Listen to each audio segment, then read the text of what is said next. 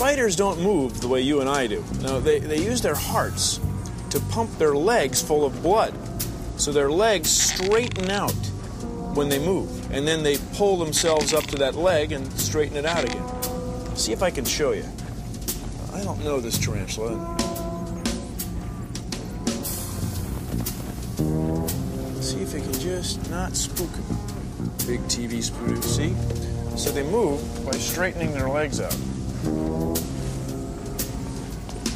uh, Bill? Bill? Sorry, Arlo. Bill! Sorry. We are experiencing technical difficulties. Please stand.